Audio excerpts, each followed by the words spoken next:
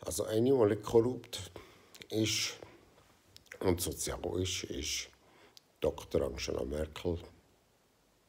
Sie hat den letzten ein Schüttelanfall gehabt. Wahrscheinlich war es ein bisschen kalt. So mit Damenkleidern in der Kälte rausstehen. Hat sie auch verschlottert. Aber ich glaube, es geht ihr gut. Sie nimmt keinen Alkohol, keine Drogen, keine Zigaretten, nichts.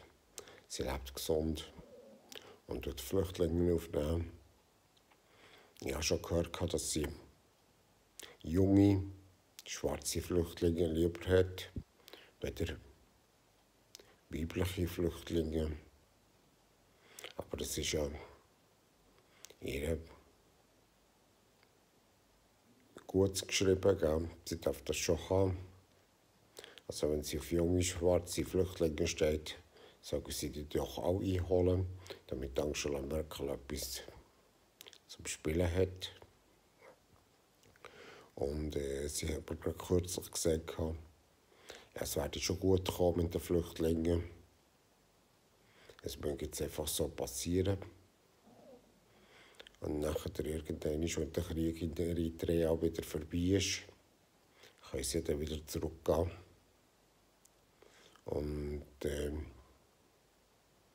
das Dorf wieder aufbauen, das beim Krieg einfach zu Boden gewälzt worden ist.